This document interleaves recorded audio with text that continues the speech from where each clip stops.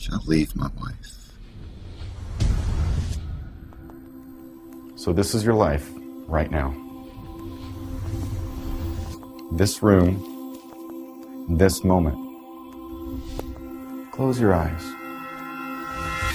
and think about where you are in your life right now.